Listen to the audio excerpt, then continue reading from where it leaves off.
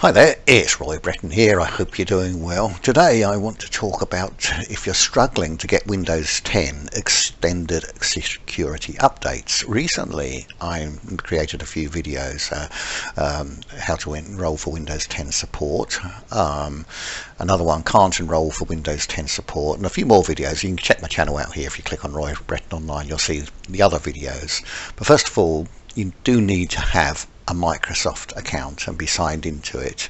Um, most of us have a Microsoft account, um, even if you think you don't, you probably did sign up a long time ago for it and probably forgotten. I use Windows OneDrive, so I'm kind of kind of signed in if that makes sense, although it's not showing here.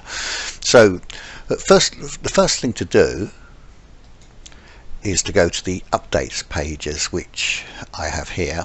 Um, so um, this is I, ha I, have a Windows 10 laptop which I can't update to Windows 11 and I have this desktop which I can but I'm not going to. I'm going to use the updates.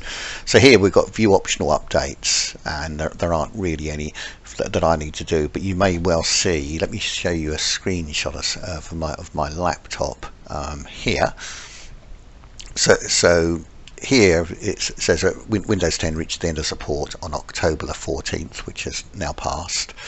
Um, and here it's got about downloading and install and view optional updates. Now it's very important that you do um, you, do view these optional updates, otherwise it probably won't work. And I think this is what a lot of people fail to, fail to remember that they, they you do need to have these um, optional updates and reboot boot your computer otherwise it's not going to work.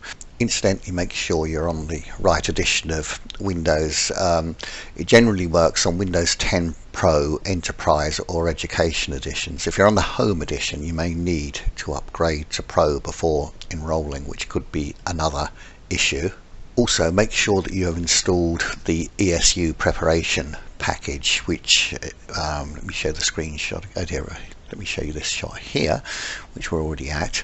Um, so it should be you should see a page like this on my desktop um, which I'm on now. I had something down here where I could sign up for these updates. So just have a look around the Windows update page once you've signed up for the Windows extended updates then you should start um, get, start receiving sort of um, optional updates in here uh, which I have. So it seems to it seems to be working okay, which is great.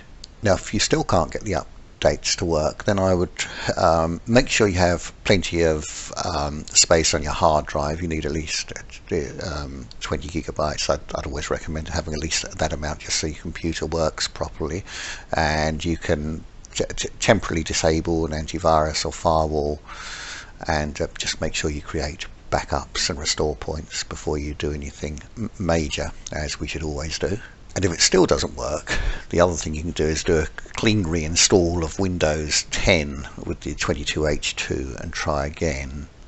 Or obviously if your if your Windows computer supports um, Windows 11 then you can upgrade to that. Uh, but my laptop is 10 and a half years old and uh, that that's that's working fine with the new updates which is um, which is great. If you've got any questions on this please feel free to leave a comment. I will try and get round to answering them but um, just go, go through the process slowly and hopefully you will have success like I did. So thank you for watching this video and if you want to give it a thumbs up or leave a comment please feel free to do that. Thank you very much